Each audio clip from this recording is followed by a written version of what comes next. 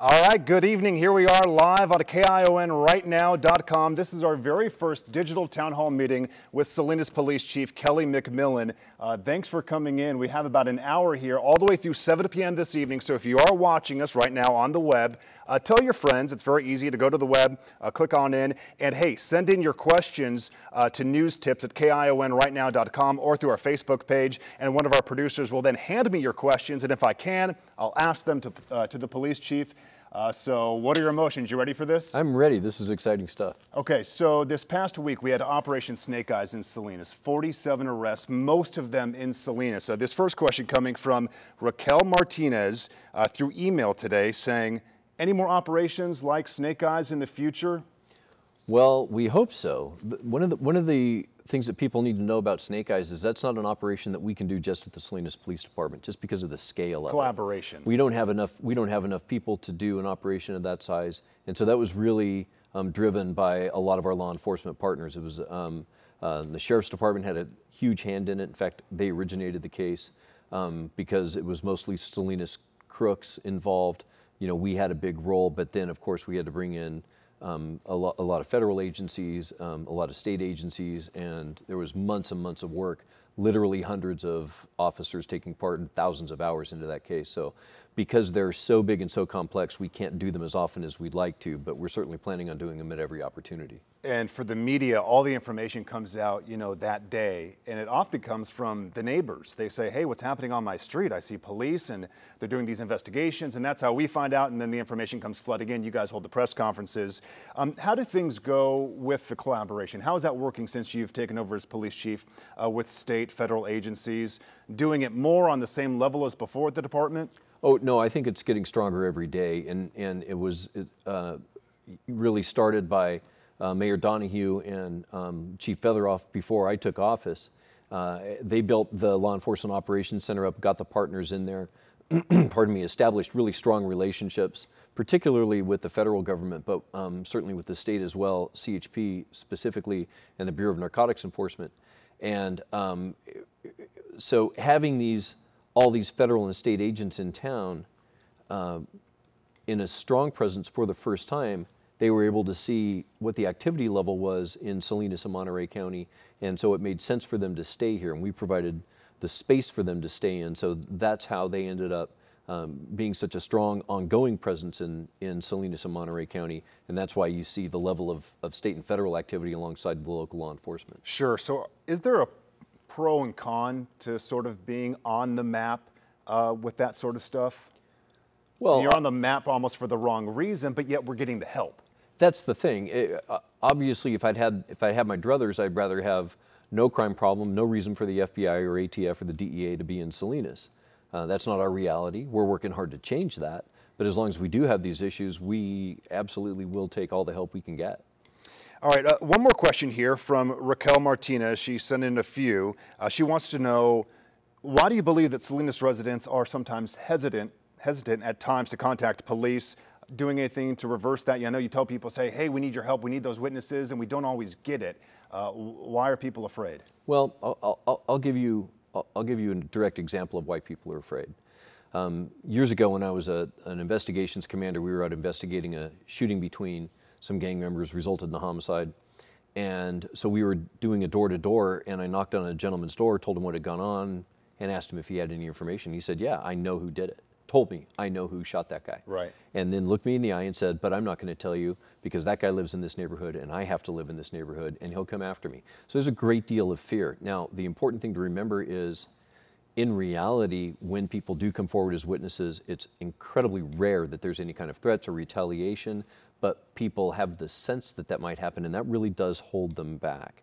Uh, so that's a big part of it is just fear of retaliation and fear of communicating with the police because they think that might put them in, in, harm's way. And then the other part of it too is a great deal of our population frankly doesn't really trust and want to communicate with the police because they think we may come after them, we may, you know, talk about, for instance, immigration status is always a big fear. And, and for the record, we do not ever ask that question, that it's not important to us. Um, but because there's a lot of misunderstanding around how, how we'll handle their information, we believe that that uh, really does complicate matters in terms of communication sometimes. We recently did a, a story um, on Central Coast News about remaining anonymous, if that truly is anonymous. I know it is with the tip lines, right? It is with the tip lines. In fact, our tip line is set up in such a way that when you call that the WeTip number, um, that you, you, you give your information to a real person, but your number actually cannot be traced. So even if, even if we were subpoenaed to provide information from WeTip, it, it physically cannot be accessed. We actually cannot get that information. Okay, here's another uh, question coming in. This one uh, via Facebook, I believe. Uh, Joaquin Martinez. Joaquin, if you're watching, uh, Chief, your official position on officers, and he put in bold letters constantly using their cell phones while on patrol. And let me tell you, Joaquin, you're not the only one. We do get this question from time to time, whether it be uh, police officers in any jurisdiction, uh, CHP, what have you. Uh, but we've had this question before. So for the record, officers using their phones, using their computers there in the car, what's the protocol?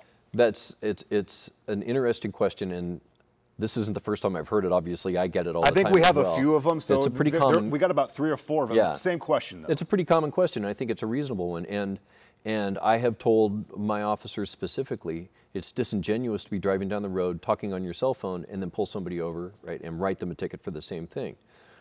And what people need to understand is if you look inside a police car, it's just filled with technology. There are computers in there, you've got a radio talking to you, and the, the phone is a tool that, that we expect our officers to use. Now, people may not get that there's a law enforcement exception for talking on the cell phone. It's actually legal for a police officer to do it. We don't encourage it. It's only for official business when they're on their phone. But many times when, you, when you see an officer driving down the road, they could be talking to a witness, they could be taking a report over the phone. Coming back to your earlier question about people not wanting to talk, provide information to police officers, a lot of times they just don't want a police officer at their front door. So the officers will use their phone to contact witnesses, um, run questions by their supervisors. It's the, the, the, the calls that you see are largely being used for business purposes. Now, what about training with that said? Do officers go through special training as far as driving behind the wheel with those distractions? Well, yeah, that's one of the th- one of the one of the problems that we face is you know distracted driving is a huge issue. It's no different for police officers.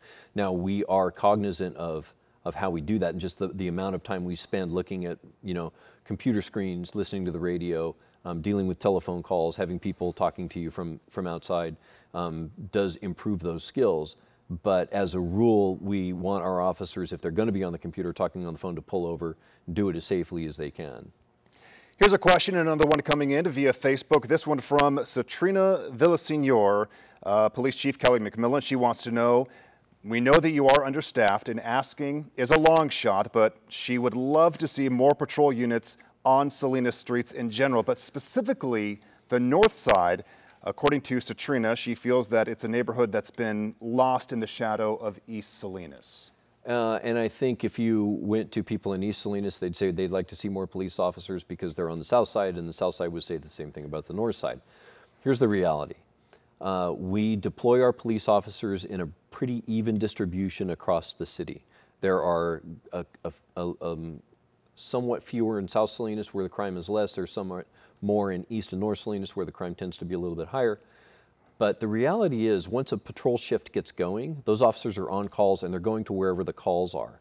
So the fact that we deploy them evenly across the city doesn't mean they stay evenly across the city. So, for instance, it's very common to have a couple or three major events going on in the city a, a, a shooting over here, a domestic disturbance going over here, and a, a fight over here. Well, that's where all your police officers are. They're no longer patrolling a specific neighborhood. They get they get sent to where the action is, where the call is at the moment. So a North Salinas officer could be sent to the east side, East Salinas officers could be going to the south side.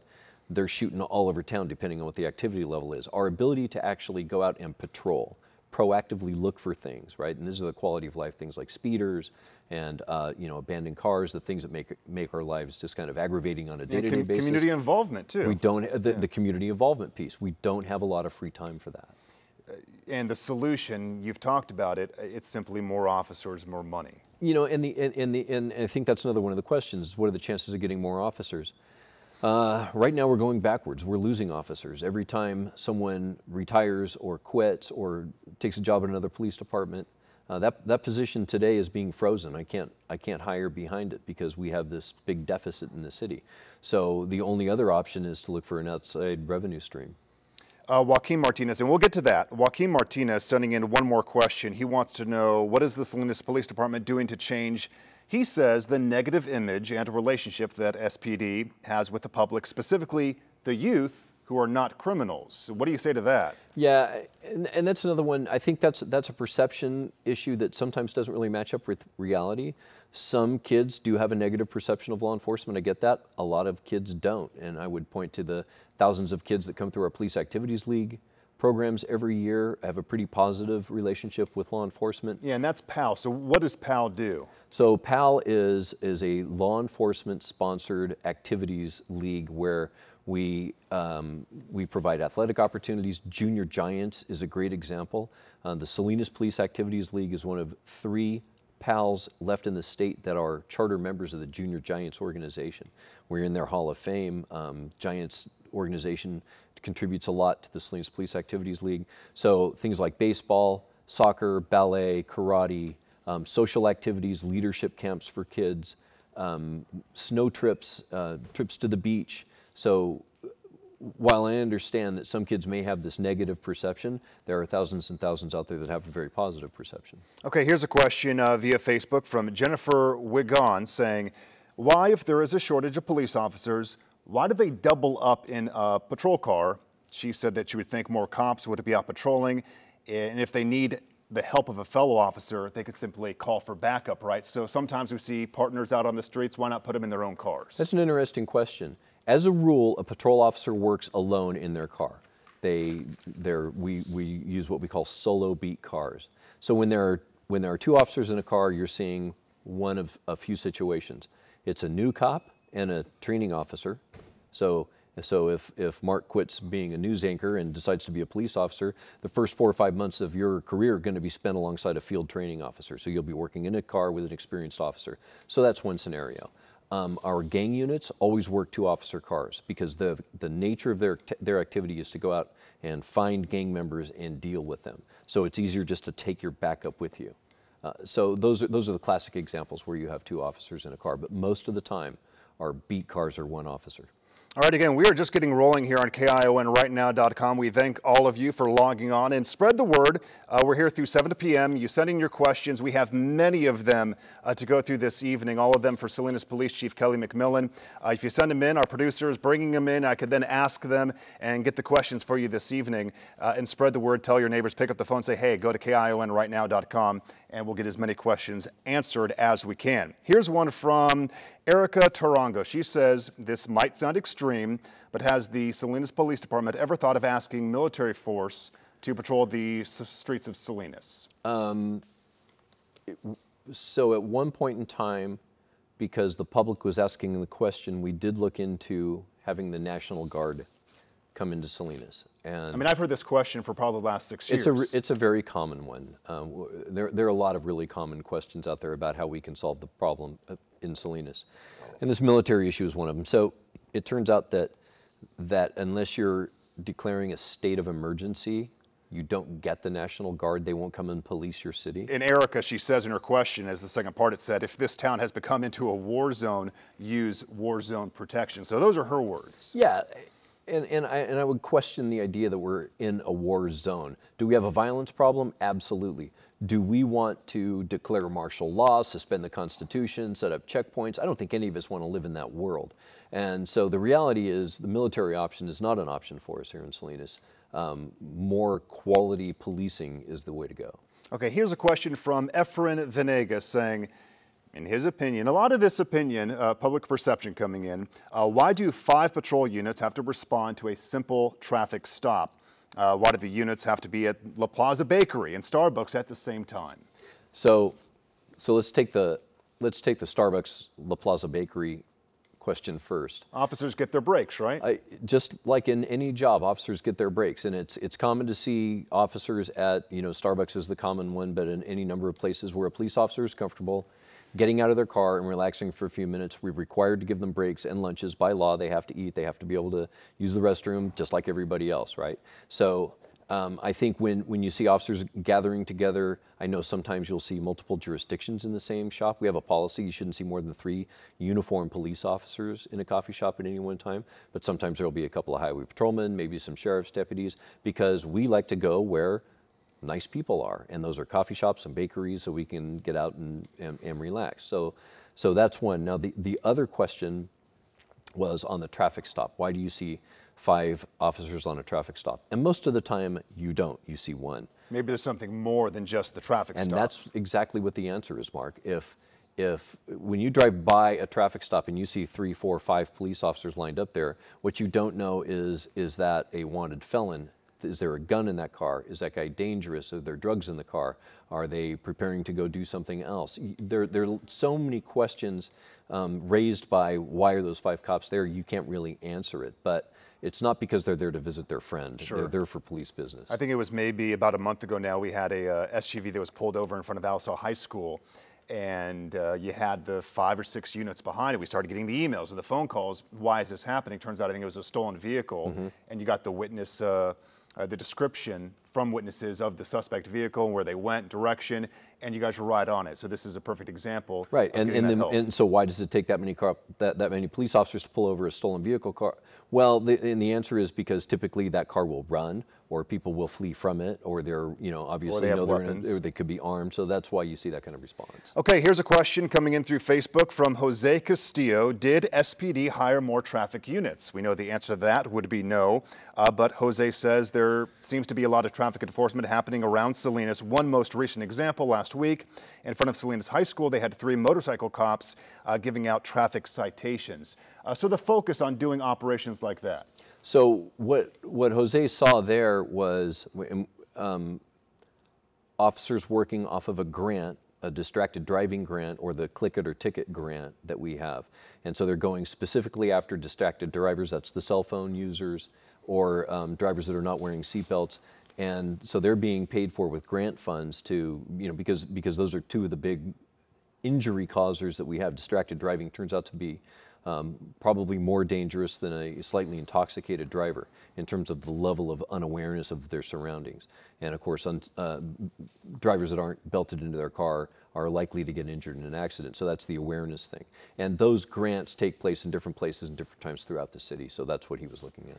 All right, again, we have so many questions. This may hop around just a bit, but I want to get to this one. I believe this one is through Twitter, coming from G. Delgadillo II.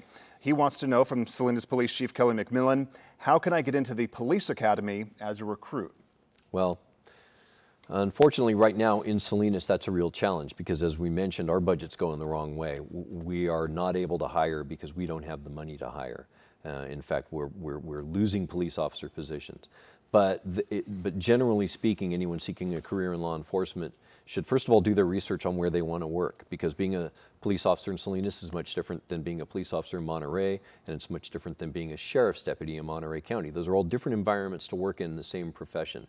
So they need to do that kind of homework and then it's a matter of reaching out to that agency or that jurisdiction, finding out what their application process is, uh, and then they're typically uh, invited to submit an application, go through an oral board, go through a background investigation, which includes a polygraph examination, a health examination, a physical test, jumping over walls, things like that. If you pass all that and you're hired, sent to the police academy, that's now, I think, six months long. Graduate from the police academy, then you're out into the field training program we just talked about, and you're off and running as a police officer. Now, with that said, speaking of your experience, I mean, you spent most of your career in Salinas, right? I have. And uh, so how's that process gone, staying with one city, not hopping around to other jurisdictions? Well, so I started as a young police officer in my hometown. I grew up in Hollister. I was a deputy sheriff there for a couple of years. I was also a deputy in San Diego County for a couple of years before I came to Salinas in 1988. Uh, and it just turns out that Salinas, uh, Salinas suited me. It was, it was the kind of work I like to do. The men and women of the Salinas Police Department are, are, are an incredibly close-knit family uh, and, and consummate professionals. Uh, and the police work is always interesting. The community is a great place to be, so that's why it's worked for me. Here's a comment, a question that just came in, just got handed this paper to me from one of our producers. Uh, this from Nick Anda via Facebook. So, Nick, we hope you're watching right now online.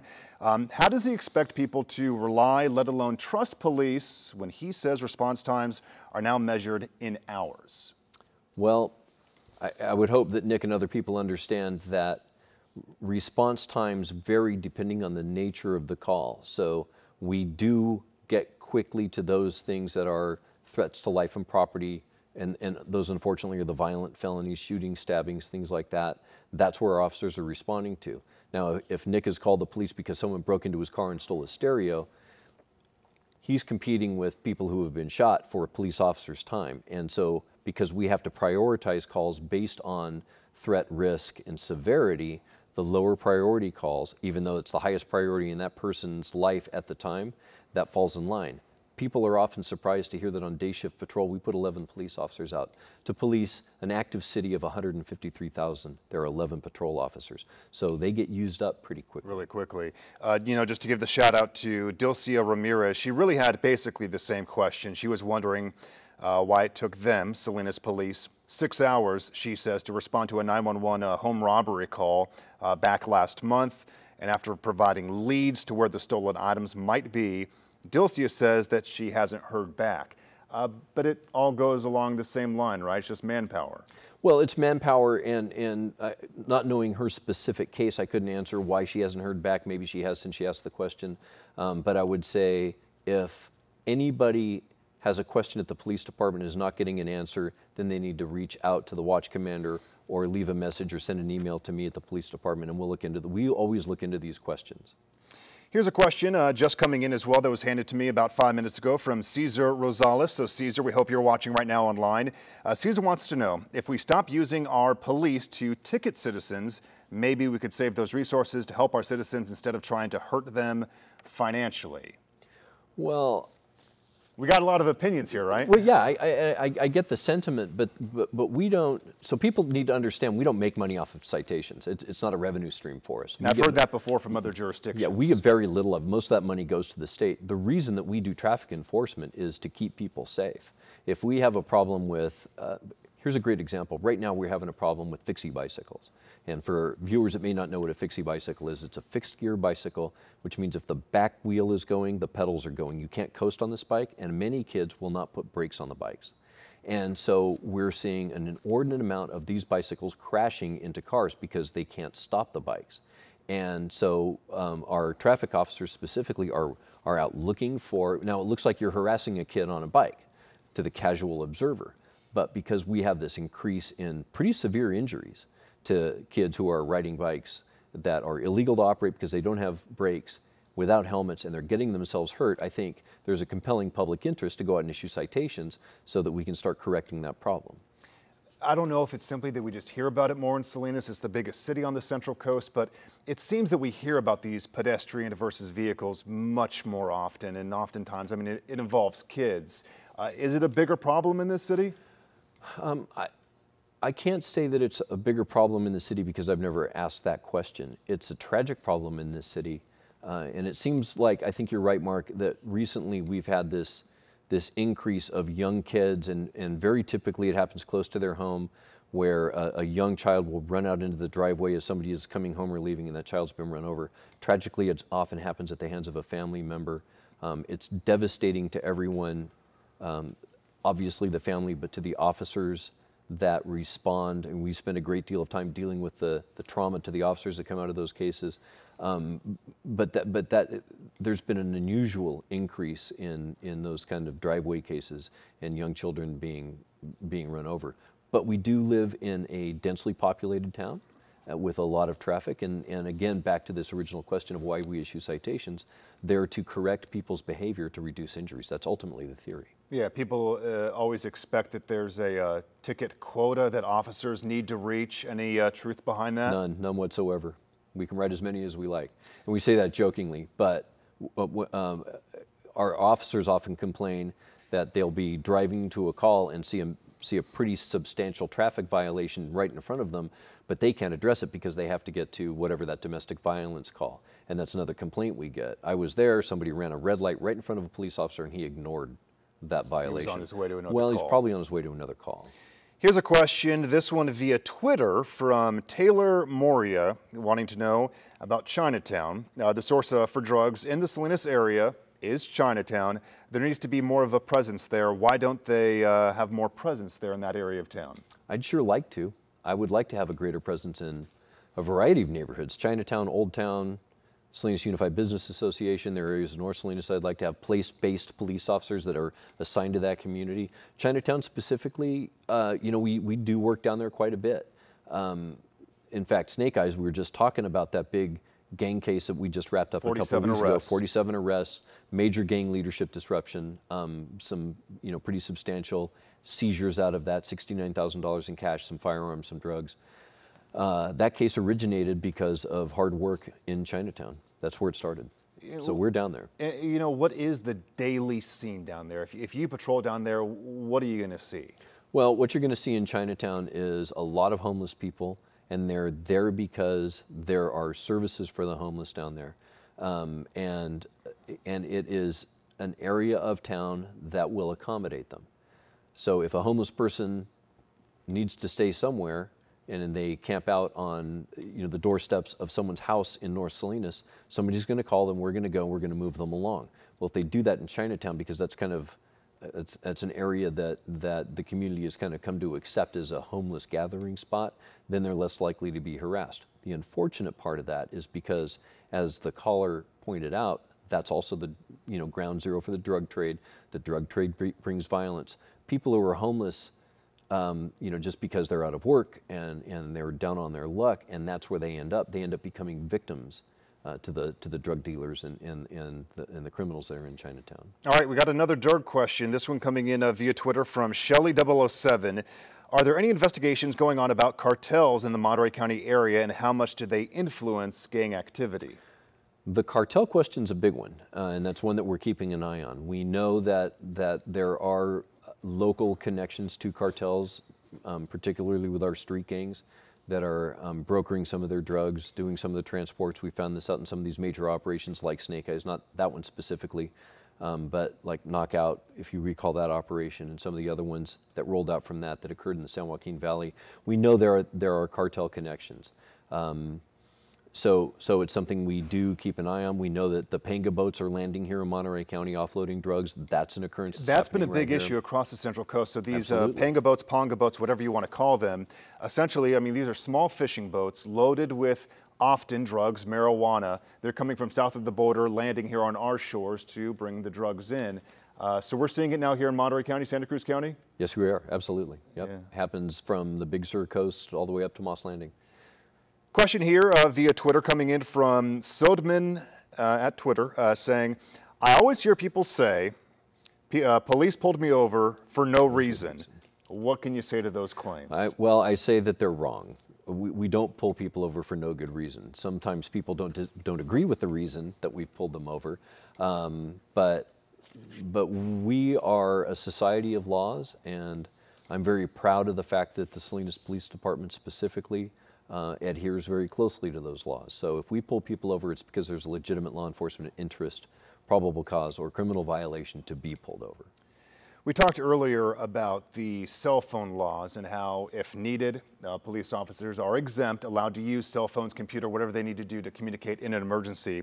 Uh, this question coming in via email from Jess L., uh, wanting to know Salinas Police Chief Kelly McMillin, why do some police officers continue to drive over the speed limit if it seems that they're not going anywhere for an emergency? So claims here that officers are seen speeding on the road. and that does happen.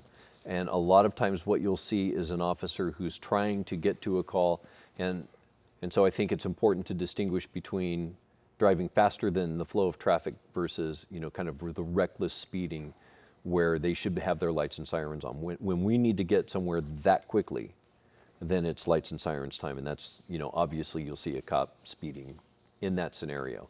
But sometimes you do see an officer driving faster than the flow of traffic, and a lot of times they're just moving towards a potential situation that's that's um, uh, unfolding. So typically, a scenario where a police officer in an adjacent beat has made a traffic stop, and there's something about what the other officer is hearing on the radio, or that other officer is called for for some more backup, but it's not an emergency backup. That officer's not going to waste time in getting there. And they're not going to turn their lights on per se. Not necessarily. Now, now the reality is, if they're going to be um, driving in a manner that would present a public hazard, then they need to have those lights on. If they're going to be, you know, rolling through red lights, rolling through stop signs, that light, the lights and siren need to be on. Um, but sometimes you do see, you do see officers traveling faster than the speed limit. Now, I would add, if an officer is driving recklessly without lights and sirens on, we would invite that, that witness to call us and we'll investigate that complaint. See where it goes. Uh, so again, that one was from uh, Jess L. So thanks for sending it in via email. Uh, here's a question from Jose Bautista uh, via email, wanting to know from the Salinas Police Chief. Do you agree with what's happening in Colorado about marijuana being legalized, and do you think that the same should happen here in California? Obviously, a couple years ago, failed ballot measure, um, but saying, you know, to pass the marijuana law to keep nonviolent offenders and small marijuana offenders out of jail, out of prison. So, what's your whole thought, legalizing marijuana? So, so there, there are kind of two, two shades to that question.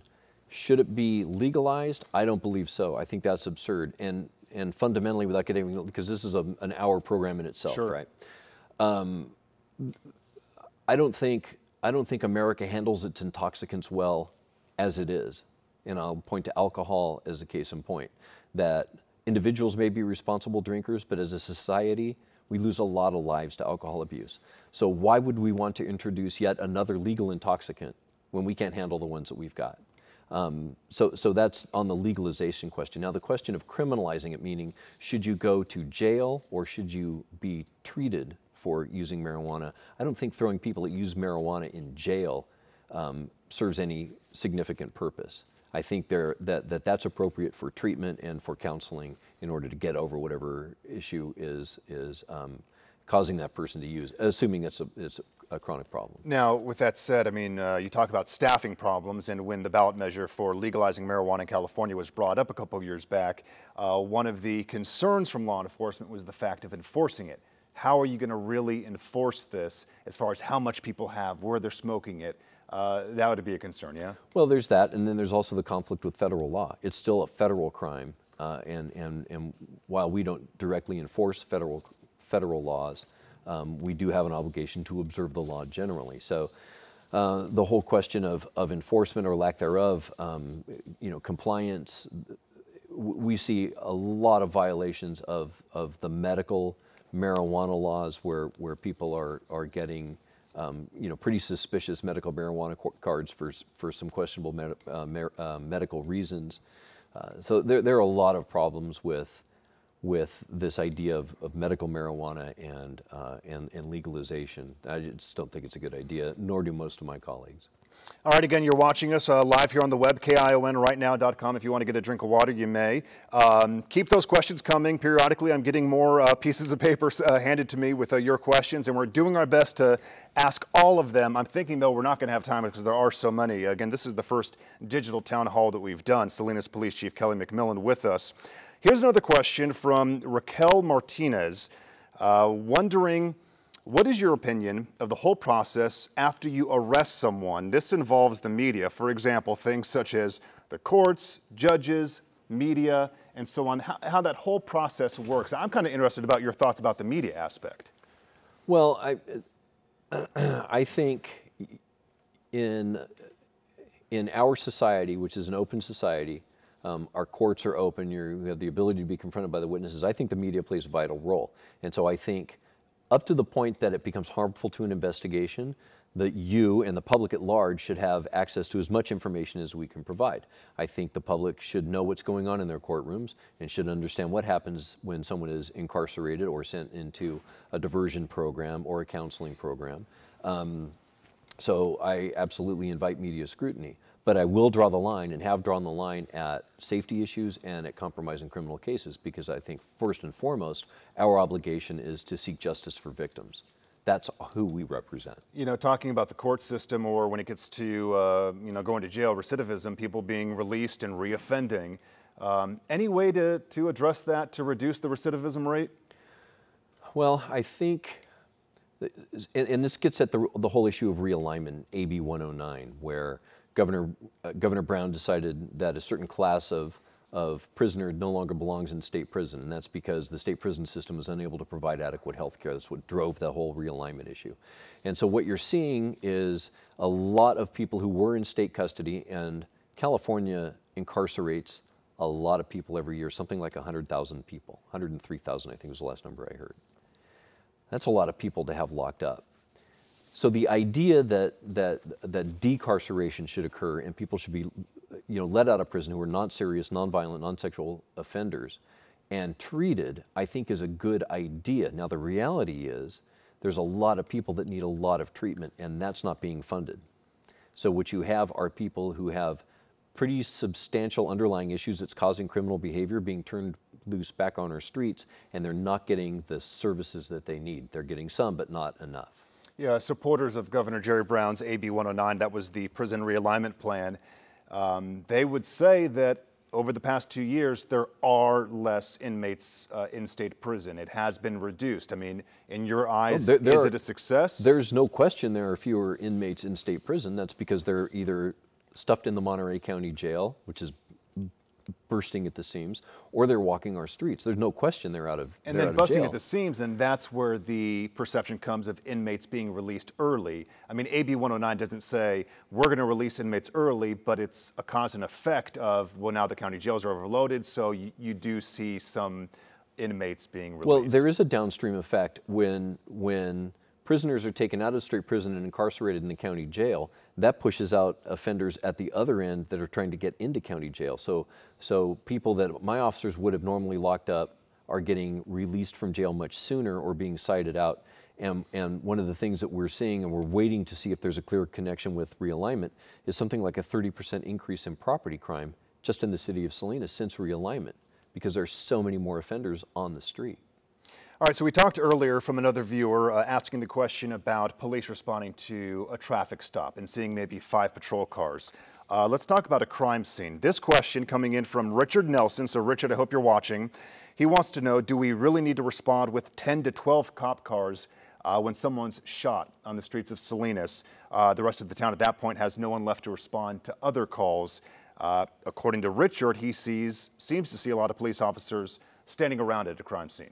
That's right. And sometimes you do have officers standing around at a crime scene because a crime scene has to be protected for the integrity of evidence. And if, if you've ever unfortunately been to a crime scene, they attract dozens up to hundreds of spectators. And the only thing standing between those spectators and that crime scene that needs to be processed, measured, photographed, bagged, tagged, collected, and booked into evidence, a process that takes hours, are thin strips of yellow tape and a police officer standing on the other side. And then there are the detectives who have to do the interviews. There are the crime scene investigators who have to process the crime scene. Uh, there, there's a whole lot going on in those major crimes. So he's exactly right. Those major crime scenes deplete resources from everybody else. That get back, gets back to the earlier question about why did it take six hours for the officers to respond to my residential burglary? Because they were all at that crime scene. Yeah. Okay, here's a, another question from Raquel Martinez. She sent in several. Uh, one of her questions here uh, found it rather interesting. Uh, does training stop once they are hired, or is there a periodic training throughout the year um, with Salinas police officers? There's ongoing training at every level in the police department. Um, police work is a very specialized field now. There are very few generalist police officers.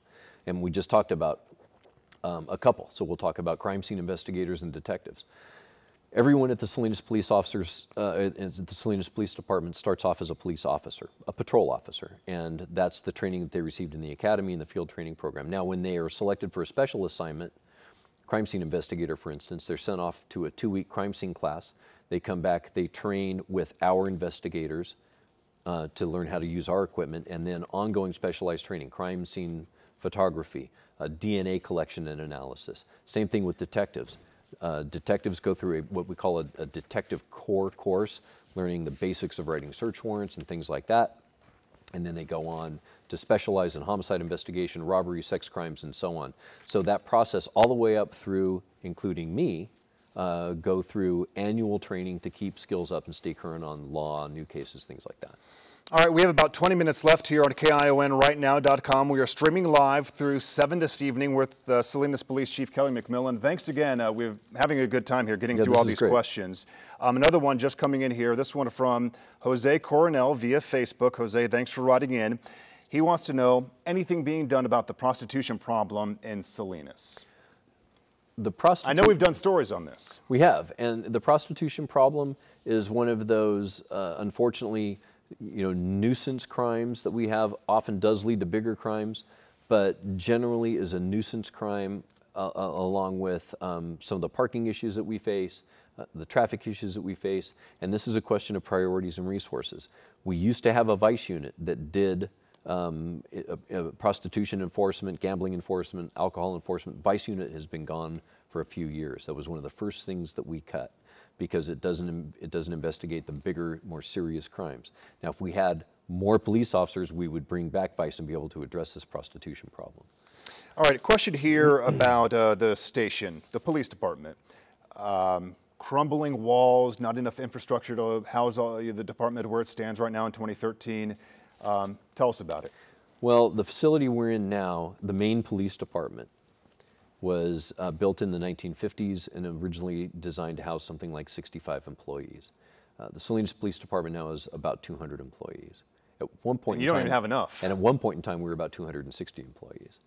So our reality is the police department is jam-packed. It doesn't serve anybody's needs. Um, Use that phrase, busting at the seams. Busting at the seams. But and it's not just you know I don't want people to think it's because we want just a nicer building. That'd be nice, one that doesn't smell like sewage that happens in one part of our detective bureau True constantly. True story. But the reality is we don't have the interview rooms that we need that if you came in as the victim of a crime, you would be walking down the hall passing suspects in crimes because we can't segregate those populations right now in the facilities. We don't have adequate juvenile holding facilities. We don't have good places to interview youth because there are rooms that should be set up specifically for them. The workspace for the police officers is atrocious and that affects productivity. So there are a variety of real functional law enforcement needs. Our crime lab is jam packed. We can't do good DNA analysis. Our evidence is spread out in a number of facilities across the city. That creates efficiency problems. I could go on for another hour just on the needs of the police department. But this community is not being served by the building we're in now. So how do we solve that? Is it a tax? Do we get grants from the state or the federal government? Uh, what's next? What's the reality? The question about grants is an important one because that's that's another one. Why don't you write a grant for that? Well, if we could, we would have. Um, the the federal government doesn't fund buildings. It doesn't fund police cars. It doesn't fund guns, bullets, uniforms. The things that are the rightful purview of the general fund. That's Salinas' responsibility. And the federal government, the state government would say, if Salinas wants a new police department, Salinas has to pay for a new police department. And so again, coming back to why don't we have more police officers, this is a question for your viewers. Do you want to invest in safety in Salinas? And and uh, and that means fundraising. That means a tax measure. Would, it, would this tax measure that we keep talking about would that go on the upcoming November ballot, or where would that be placed? Do that, we know? That's still a question. I think the, the sense that I'm getting that if a tax measure, and, and there is no tax measure yet, that's a conversation that's happening between the city council and our community right now. Um, and there are lots of questions. Should it be a general tax? Should it be a specific tax? A sales tax? If so, how much? A half cent, three quarters, a full cent? A lot of questions about that. Um, Even if you got the green light right now to build a new station, I mean, it takes time still to get the plans and build it. I mean, so realistically, if you were a betting man, you know, where do we stand with making it happen? If somebody dropped the millions of dollars that we'd need for a new police department in our lap right now, I would guess that we're five years away from opening the doors of a police department. It takes time. Well, it's a, it, it's a different kind of building. It's not, you don't just go and find the guy that built a, a, nice house and ask them to put up a police department. It has lab facilities. It has to be what they call a type 1 building so it can withstand certain earthquakes. A lot of specifications in a police building. And would it, uh, again, five years away, kind of a shock to hear that, but would it be at the same location there on Lincoln, or is there, would there be a proposed different location? Right now, the, the proposed location for a new public safety building would be um, in the 300 block of East South Street at the old Monterey County Corporation yard. And that's because the city is looking to redevelop that whole area that runs north and south al along the west side of Highway 101. And, and if, you, if you're familiar with that area, it's kind of tired, it's run down. There's a, you know, there's a, a the, the Sun Street transfer station, solid waste facility right in the center of the city. Um, so there's a lot of uh, interest in getting that moved out. And the idea is that a nice police facility that has public facilities in it, meeting spaces and things like that, would start to attract redevelopment down to that marketplace area. What about that fence around the police department? Uh, we covered that maybe a few months ago. Um, is that going to happen? I know it still costs a lot of money to do that much. It does cost a lot of money to do that much. And, and what you're referring to, Mark, for people that may not be aware of it, is uh, anybody who's driven downtown Salinas Your is driven back parking lot is the- completely open. it's completely open, turns into a place for people to do U-turns and drop off their mail and walk through. And, and uh, you know, the police department attracts, unfortunately, a certain kind of people, and they're not always the happiest people in the world. And a lot of times they're criminals. A lot of times they're angry with us or anybody else. Um, they're, they've got uh, mental health issues. And in the back lot of the police department, where civilian employees are coming out, our officers are getting ready to go to work. We've had a lot of dangerous situations generated back there. The industry standard is you have to protect your assets, protect so your police cars hasn't that happened? because it's been a cost issue.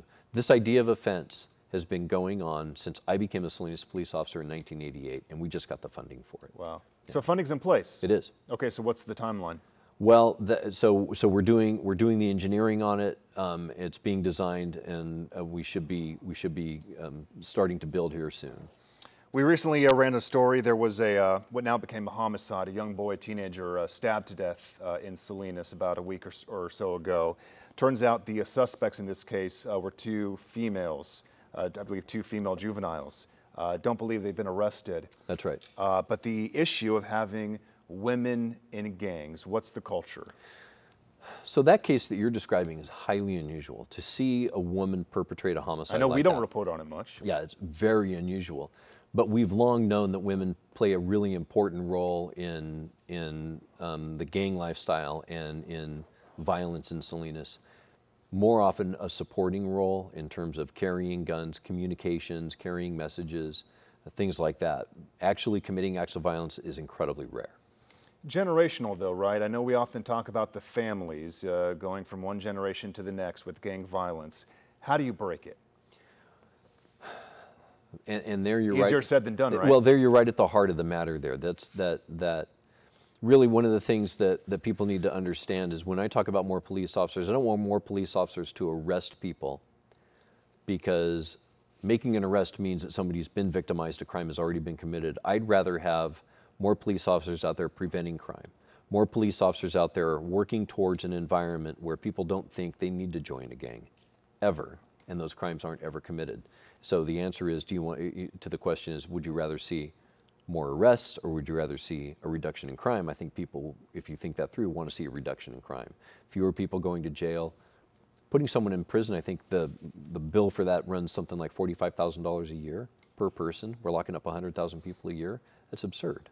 So why not keep people out of jail? Why not have a peaceful community where crime doesn't occur? That's really the goal. I would say peaceful community. Uh, past Mayor uh, Dennis Donohue, uh, imagine a city. You know, for uh, the brand for the city of Salinas. Uh, this question coming from Cesar Rosales. Uh, we had one earlier. He sent in an, an additional question. So, Cesar, thanks for sending this in.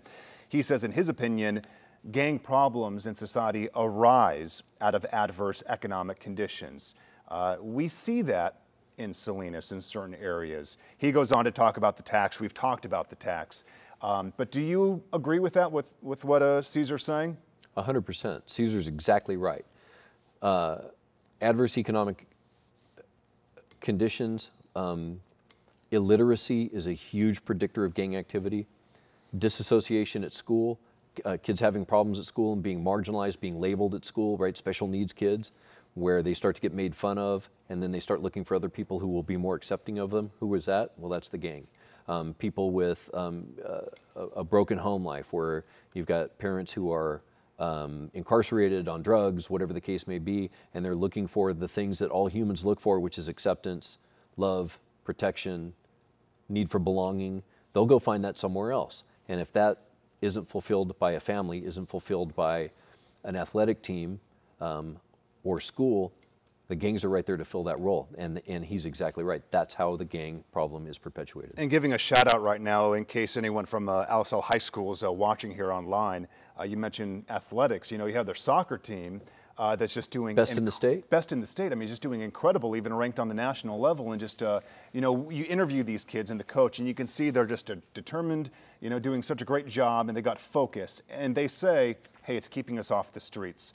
Uh, we need more of that. How do we increase it? We need a lot more of it. And, and, and the great example. If you go out to the Constitution soccer fields any given weekend, there are people lined up to wait those field, or to work to play on those fields. There is not enough capacity. Um, nor is there, nor are there enough baseball diamonds or basketball hoops or volleyball courts. Those are all of those things that we need. Now, how you get there is again that question of investment. There are um, a lot of good people working hard to build soccer fields through um, donations and fundraising, just like the, the new football stadium that's going up uh, at the sports complex is going to be uh, serving thousands of kids who would otherwise be doing something maybe that they ought not to be doing, but they'll be on, on the athletic field. So what I would argue is an investment in safety, bringing calm to Salinas, creates better business opportunity more business, more businesses come to Salinas, increases revenue generally, and that's where you start seeing the infrastructure development, more opportunities for youth, a calmer, um, uh, more um, uh, safe community where people are free to go out and play. Yeah, full circle. It yep. takes time. Uh, the city council, you know, when they talk about this, bringing in uh, businesses, and they've done a lot of it uh, over the past few years, bringing in new restaurants, uh, and that's what Cesar was talking about economically. How difficult is it? Is that why the city council spends so much time focusing um, on that need? I know Kimberly Craig, uh, for example, one of the councilwomen, uh, is pretty passionate about bringing in the new business. There, I think if you asked our city manager, Ray Corpuz, what, what his singular focus, his biggest focus is, is on that economic development piece. And it can, it, all this can go down to gangs. I mean, you, you, you get better business, better economy. I mean, that's what Cesar's asking. Well, I think, uh, and I would point to San Jose as a great example of, of, of, uh, of San Jose before, before the big technology boom had some pretty significant gang issues in East San Jose, King and Story Road. What really got San Jose out of it was this big economic turnaround where people, wealth started to increase generally, people were better employed, people who were uh, uh, or better educated started living in San Jose, better opportunity for the residents of San Jose, and as that opportunity increases, hope increases, the need to participate in gang activity decreases. So really, fundamentally, it's an economic, it's an economic path out of violence. We're not going to arrest our way out of the problem. We've heard this for years and years. It's a question of preventing it from happening at, at, the, at, the, at, the, at the entry point and that entry point is illiteracy, hopelessness, poverty, the things that Cesar's talking about. All right, we have uh, just under 10 minutes left here on KIONrightnow.com. We thank all of you for logging on and watching this uh, live digital town hall meeting with Salinas Police Chief Kelly McMillin. Uh, here's a different question. This one was emailed in um, just earlier during this hour from Chris. Uh, Chris wants to know, do you think that your views on the issue of allowing law-abiding citizens the opportunity to protect themselves will change in the near future? Uh, police, although paid to do it, are not the only ones capable of training, thinking quickly, and dealing with stress of life and death. What, what do you think? So I assume that's the question of should should non-police officers be be carrying guns, um, the the right to defend yourself? I will never ever tell anyone they don't have the right to defend themselves. That's a separate question than do I think people should carry firearms for their own personal protection? I personally don't think that's a good idea. Um, a lot of people have their guns taken away from them and used against them. A lot of people, while like the idea of carrying a firearm, aren't well trained enough to do it. Um, I don't know Chris, I don't know what his skills are, and maybe he'd be perfectly equipped to handle a firearm. In my opinion, most people are not. And there's, uh, there's the debate, and we've been covering it, you know, uh, with all the discussions and the bills going through Congress um, about, you know, carrying guns, and some of the critics saying, hey, you know, this is my right. But aren't the lawmakers, they're talking about taking away, you know, those military assault weapons, the guns that people don't need. I mean, there's a difference when it comes to weapons. Uh, you agree? There are. There absolutely. I, I, my personal view is, and my view is, you know, one of many out there, is that there, there's no need for people to have assault weapons. But the reality, and, and there's all this hysteria around assault weapons being banned and being taken away. Criminally speaking, assault weapons are just a, a, tiny fraction of the crime. They're almost not a problem in Salinas. I can't remember the last time we had a shooting involving an assault weapon. The, uh, the weapon that is a problem in Salinas is a, a, a pistol, perfectly legal pistol as long as you're uh, not a convicted felon or mentally ill or precluded otherwise from carrying it.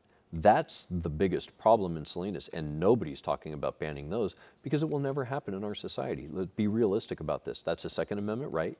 The courts are clear on this. We're not going to take away handguns from people. But the idea of high capacity, rapid fire assault weapons that are designed for military purposes really, in my opinion, don't have a, a role in the civilian market. All right, we are in the final five minutes here on KIONRightNow.com with our digital town, uh, town hall meeting with Salinas Police Chief Kelly McMillin. Uh, again, so you've been here since 88 with the Salinas Police Department, um, brought on as chief just recently. What's your tenure? What are you thinking? How much longer do you have? Well, um, I, I'm, I plan on, I, when, when the city manager hired me, I told him I'd, I'd be here for five years, and that's, that's my plan. If, if, if it makes sense for me to stay longer than that, um, I will. But I, I think there's something to be said for fresh leadership. Uh, it's a difficult job. Um, I've been doing it for almost 30 years. Um, it takes its toll, and so I'm at some point looking forward to retirement, but that's not even on my on my radar right now. I'm enjoying being chief. I'm enjoying the challenges of Salinas. I think the future is bright for Salinas, and that's where my focus is. You know, uh, Salinas Police Chief, uh, former uh, Chief Louis Fetherolf, leaving perhaps earlier than a lot of people expected, uh, citing medical reasons, correct? Uh, you know, did that come as a shock and kind of shake up the department a bit? Well, it did. It, when, when Chief Fetherolf was sworn in, I remember it clearly. He said that he had a 10 year plan. To be ended chief. up being about two years. It ended up being about two years. But the fact of the matter is, is his career prior to Salinas spanned more than 40 years. And so uh, health issues got the better of him, and, and, he really didn't have a choice. He didn't. He could no longer fulfill the roles of a police officer. Even the chief of police is expected to be able to go out and, if need be, you know, chase down a criminal, make an arrest, jump over a fence, do all those things. And, and, and because of some injuries he sustained, he wasn't able to do that. So unfortunately, we lost him. You, you still get out there to, to do that kind of thing? I know uh, they say, you know, police chief is a desk job at times. The police chief is a just desk job at times, but you know, do, do I occasionally make a traffic stop when I see a violation? Yeah, there's, I still have I still have the street cop in me to a certain extent. You know, I, I still want to go out and you know uh, arrested a couple of burglars a, a while ago just because I happened to be in the right place at the right time. So yeah, it doesn't it doesn't happen as often as I'd like it to. There's a lot more paperwork than actual police work. So you prefer to be out there on the streets? Well, I think any, I think I think any any any street cop does. You know, you don't you don't sign up to become a cop in order to become the chief of police. That's a, that's a that's a late career decision, um, and you make certain sacrifices to do it. All right, I missed this question earlier. I want to get to it. This one via Twitter from Visa on Air, um, wanting to know why, when activities happening in their neighborhood uh, they don't find about they don't find out about it, uh, you know, from a police blotter. Uh, they find out about it turning on the news. Uh, they turn on the newscast. That's where they get their answer. Uh, but you have press releases that anyone can get. You have a Facebook page. You have a Twitter handle. is that where people can go to get more accurate, quick information? They can, but again, Mark, when when, when you're talking about a, a rapidly unfolding situation in somebody's neighborhood, a crime that's just occurred. those police officers are busy investigating the crime um, we, I, I, don't necessarily think people would want the police officers to interrupt a homicide investigation to send out a tweet. Sure. Now, we are getting better, I think, about our social media presence and our ability to communicate more directly to the public. Um, I mean, that'd be a whole separate full-time job for someone. it, it is, and, and, and, what we've got, we've got a, a, group of officers who are interested in this, who are working on our Facebook page and working on Twitter and trying to be more proactive to do exactly that. In fact, we have a, a private Twitter feed with our schools. So when we have to lock down a school, we use Twitter and open source media like that in a closed loop to communicate with them. So we are we are doing it, and I'd like to get better about it. But that's going to be um, secondary to our primary function of law enforcement. Okay, wrapping up here, and here's a fun question sent in uh, via Facebook. Uh, this one asking uh, from Ronette Foster Dean. So Ronette, hope you're watching. Chief, did you originally own a Lincoln diesel years ago? If so, I love that card. People didn't believe that Lincoln ever made a diesel. I, I, I, True story? I wish I did own okay. it because because it sounds like an interesting car, but I never did. So uh, that's the wrong person. Carlos Navoa, uh, so far, what do you think about the 49ers? Are we going to get back to another Super Bowl? I'm glad the 49ers are moving a little closer to Salinas, honestly. I don't know if I'll ever be able to afford a ticket. but Pretty amazing stadium they have being built That is going to be phenomenal. Yeah, and, and, I, and I think we're going to feel the effects of that, especially when the Super Bowl shows up next year. Well, last year when we had uh, the San Francisco Giants in the World Series, it did become a crime concern uh, with a kind of a makeshift parade up Main. Uh, so is that kind of a concern as well that, yeah, you got the fan support, but also maybe some of the partying that goes too far? You know, I think we always have to keep an eye on that because that's our job. Generally speaking, people are really well behaved around celebrating like that. We don't see, you know, the kind of, um, you know, the soccer hooliganism that some other countries have to deal with. We've never seen that in Salinas. But uh, I, I'd rather see the 49ers win and have a parade to deal with than have the 49ers lose and have nothing going on in town. All right, Salinas Police Chief Kelly McMillin. This was our very first digital town hall meeting at Central Coast News. We appreciate everyone who sent in all of these questions via email, Twitter, Facebook. Uh, we had many of them. Uh, the wife, the kids watching, anything you want to say to them? Yep. Hello at home, Liam. Enjoy your first day off from uh, from school. And uh, we do hope to do another one of these in the near future. Of course, we're going to keep you posted on Central Coast News via our Facebook page uh, when we set one up. Uh, Chief, thanks for coming in. A pleasure. Mark, my pleasure. Thanks.